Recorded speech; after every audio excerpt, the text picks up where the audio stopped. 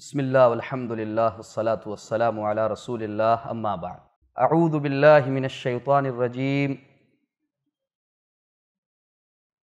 ایاک نعبد و ایاک نستعین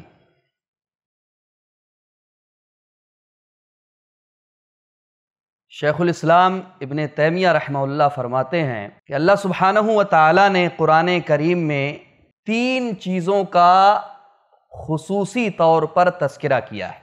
قرآن جو ہم تیس پاروں میں اپنے سامنے پاتے ہیں، اس قرآن کریم کے اندر تین چیزوں کا تذکرہ موجود ہے۔ توحید، قصص و اخبار،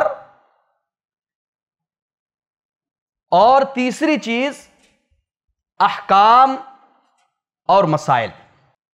اور ان تینوں چیزوں کو تیس پاروں میں اللہ سبحانہ و تعالی نے الگ الگ مقامات پر ذکر کیا ہوا ہے۔ اور ان تیس پاروں کا خلاصہ اللہ سبحانہ و تعالی نے سور فاتحہ میں ذکر کیا ہے۔ اور ابن قیم رحمہ اللہ فرماتے ہیں مدارج السالکین میں کہ سور فاتحہ کا خلاصہ لب لباب اللہ سبحانہ و تعالی نے اس آیت کریمہ میں یعنی ایاک نعبد و ایاک نستعین میں ذکر کیا ہے۔ پورے قرآن کے نازل کرنے کا مقصود اللہ سبحانہ و تعالی نے اس آیت کریمہ میں بتلا دیا۔ ایاک نعبد و ایاک نستعین سب لوگ سورہ فاتحہ میں پڑھتے ہیں، ماشاءاللہ۔ فرض نمازیں ہوں، نفل نمازیں ہوں سلاط استسقا ہو سلاط جنازہ ہو، ہر نماز کے اندر آپ سورہ فاتحہ کی تلاوت کرتے ہیں۔ لیکن یہ بتائیے، کبھی آپ نے اس آیت میں غور و فکر کیا ہے؟ کہ آپ کیا کہہ رہے ہیں؟ ایاک نعبد و ایاک نستعین الہی تیری عبادت کرتے ہیں. تاکید کے ساتھ. ایاک نعبد تیری ہی ہم عبادت کرتے ہیں. وَإِيَّاكَ نَسْتَعِينَ الہی تجھ سے مدد طلب کرتے ہیں. یہ خلاصہ ہے. واقعی عبادت کرتے ہیں واقعی عبادت کرتے ہیں. میرے پیارو، ذرا غور کرنا۔ آج جا کر کے بستر پر جب جانا، تو غور کرنا کہ واقعی ہم اللہ کی عبادت کرتے ہیں۔ کہیں ایسا تو نہیں، ہم عجب پسندی میں، خود پسندی میں مبتلا ہیں کہ ہم سب سے بڑے متقی ہیں۔ کہیں ریاکاری تو نہیں کر رہے ہم۔ کہیں دکھاوا تو نہیں کر رہے ہم۔ ابن تیمیہ رحمہ اللہ فرماتے ہیں ان هذه الايه تحقق العبودیت یعنی عدم الریا، کہ یہ آیت کلی طور پر اللہ رب العالمین کی عبودیت کو ثابت کرتی ہے یعنی ریاکاری کا انکار کرتی ہے، کہ اللہ رب العالمین کو ریاکاری پسند نہیں ہے۔ یہ کس کا کام ہے؟ اہل ایمان کا؟ مسلمانوں کا؟ اللہ والوں کا نہیں۔ اللہ نے منافقوں کے بارے میں فرمایا یراؤن الناس ولا یذکرون اللہ الا قلیلا۔ یہ منافقوں کا کام ہے، یہ اہل نفاق کا کام ہے، جن کے دلوں میں نفاق ہے۔ یہ ان کا کام ہے کہ وہ لوگوں کو دکھانے کی غرض سے نماز پڑھتے ہیں۔ اگر واقعی آپ اللہ والے ہیں تو سب سے پہلے اپنے دل سے آپ کو اس چیز کو دور کرنا ہوگا کہ کہیں آپ خود پسندی میں، عجب پسندی میں تو مبتلا نہیں ہو گئے کہیں آپ اپنے آپ کو بہت بڑا سچا متقی اور پرہیزگار تو نہیں سمجھنے لگے؟ ہمارے کسی بھائی سے بولو، بھائی جان، اللہ سے ڈریے، آپ کیا کر رہے ہیں؟ ہاں مجھ سے کہہ دیا۔ ہاں؟ دیکھا ہوگا آپ نے۔ آپ کسی بھائی سے اللہ سے ڈرو۔ ارے بھائی، آپ سے کہہ دیا، اللہ نے تو اپنے نبی کو نہیں چھوڑا۔ کیا کہا اللہ نے؟ یا النبی اتق اللہ۔ اے نبی، اللہ سے ڈریے۔ اللہ اکبر، نبی سے بڑا کوئی ڈرنے والا ہے میرے بھائیوں رسول سے زیادہ کوئی ڈرنے والا اس کائنات کے اندر ہے۔ اللہ کے نبی جناب محمد رسول اللہ صلی اللہ علیہ وسلم فرماتے ہیں انی اخشاکم للہ۔ اے لوگو، میں تم میں سب سے زیادہ اللہ سے ڈرنے والا ہوں۔ اس کے باوجود بھی اللہ نے بے شمار آیتوں میں فرمایا، یا ایوہ النبی، اتق اللہ، نبی اللہ سے ڈریے۔ اللہ اکبر۔ ایاکا نعبدو۔ اے اللہ، تیری عبادت کرتے ہیں۔ اللہ تجھے اکیلا مانتے ہیں۔ اللہ تجھے یکتا مانا ہے۔ اللہ صرف اور صرف تیری عبادت کرتے ہیں۔ جب اللہ کی عبادت کا اس بات کیا آپ نے، اللہ کی عبادت کا اس بات کرتے ہوئے، اقرار کرتے ہوئے جب آپ نے کہہ دیا اللہ تجھے مانتے ہیں، تو دل سے اب ریاکاری ختم ہو جانی چاہیے۔ دل سے اب عجب پسندی، خود پسندی ختم ہو جانی چاہیے۔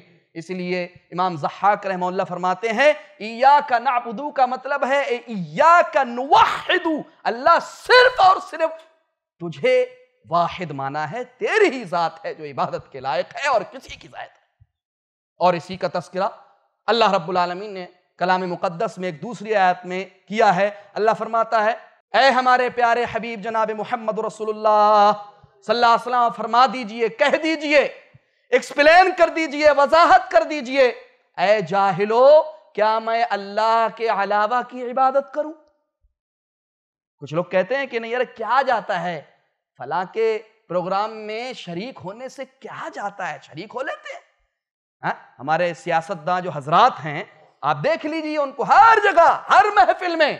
چاہے شرک کی محفل ہو، بدعت کی محفل ہو، اہل نفاق کی محفل ہو، سب سے آگے آپ ایسے لوگوں کو پائیں گے۔ اور نام کیا ہے کون ہے بھائی صاحب؟ ہاں محمد یوسف صاحب۔ کون ہے بھائی صاحب؟ عبداللہ صاحب۔ کیا نام ہے؟ عبد الرحمن صاحب۔ سب سے آگے آپ کو ملیں گے۔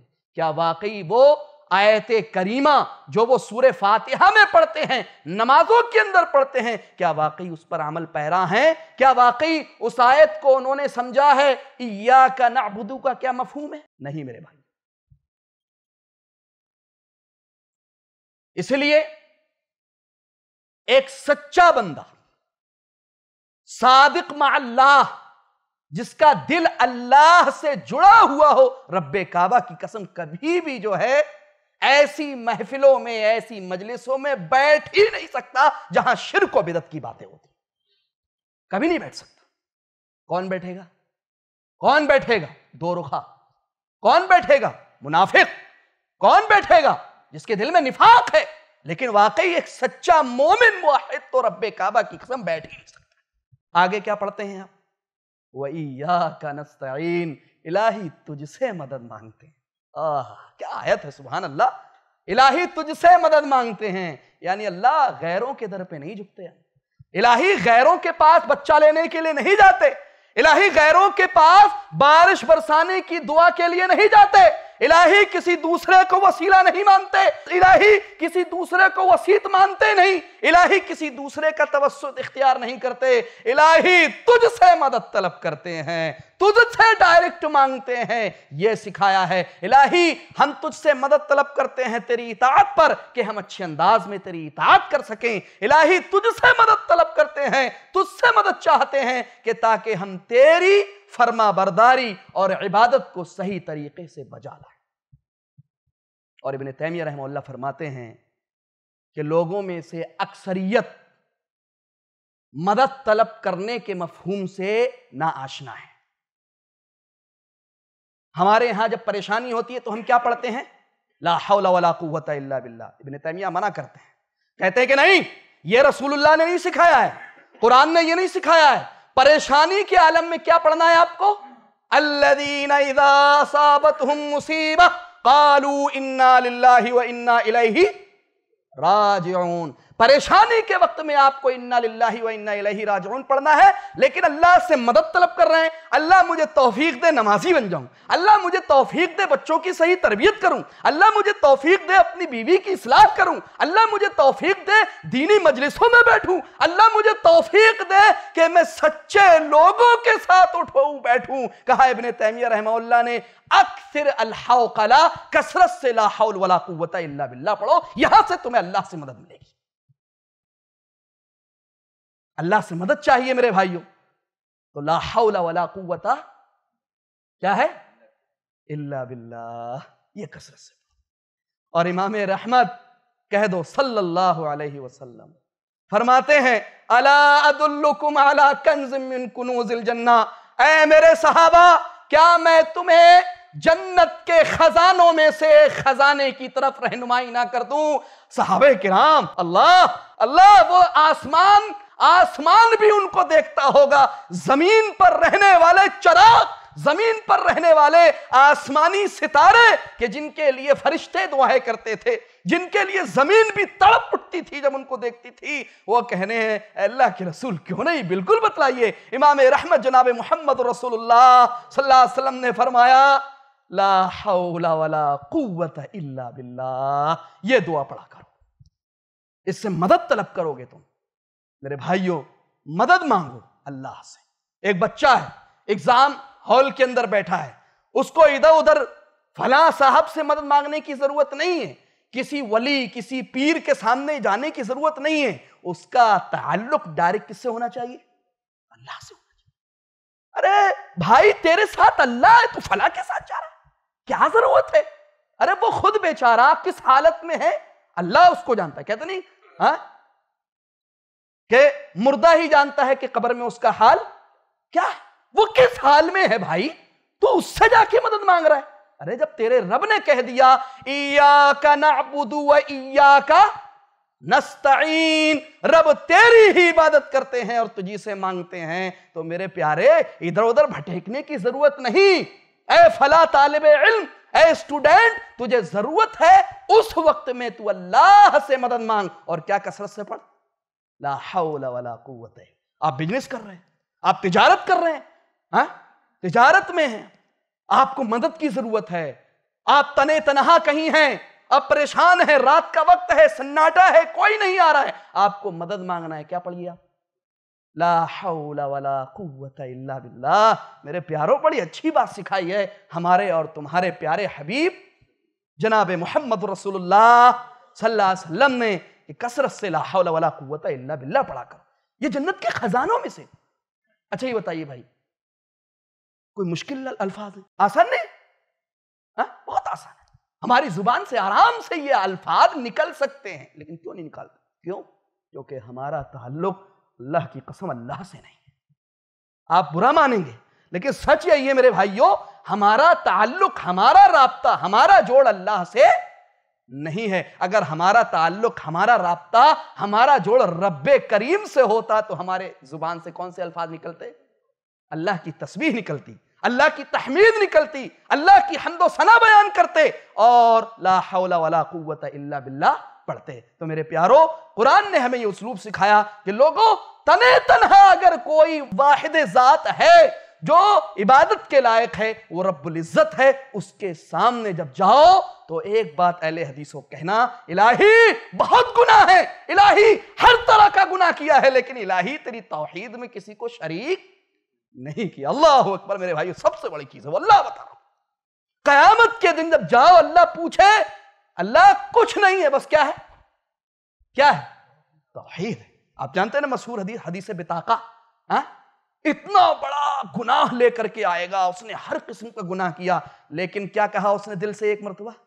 لا الہ الا اللہ۔ اللہ کے نبی جناب محمد رسول اللہ صلی اللہ علیہ وسلم فرماتے ہیں کہ کلمہ لا الہ الا اللہ، یہ کیا ہو جائے گا؟ وزنی ہو جائے گا، بھاری ہو جائے گا۔ میرے بھائیوں توحید پر قائم رہو۔ اللہ کی قسم خاص طور پہ موجودہ حالت میں جو سچویشن ہے ہمارے بھارت کی، ہمارے انڈیا کی، اس حالت میں اپنی توحید کو مت چھوڑنا۔ واللہ بتا رہا ہوں میرے بھائیوں یہی فتنے کا دور ہے، یہی آزمائش کا دور ہے۔ ہم سب سے بڑی آزمائش میں مبتلا ہیں اس دور میں، لہذا کثرت سے اللہ کی عبادت کیجیے۔ اور کثرت سے کیا پڑھیے لا حول ولا قوت الا باللہ۔ اللہ رب العالمین ہمیں اللہ رب العزت کی صحیح طریقے سے جیسا کہ اس کا حق ہے، اس کی عبادت کرنے کی توفیق عطا فرمائے۔ اور کثرت سے ہمیں جناب محمد رسول اللہ صلی اللہ علیہ وسلم کی اتباع کرنے کی توفیق عطا فرمائے۔ آمین۔ وآخر دعوانا الحمدللہ رب العالمین۔ ایسے ہی فائدے مند اسلامک ویڈیوز دیکھنے اور منہج سلف پر کتاب و سنت کی تعلیمات کو عام کرنے میں ہمارا تعاون کرے تاکہ آپ کے لیے ذریعہ نجات جنت کے حصول کا سبب، ساتھ ہی مال میں برکت و اضافے کا ذریعہ بھی بنے۔ آمین۔ جزاک اللہ خیرن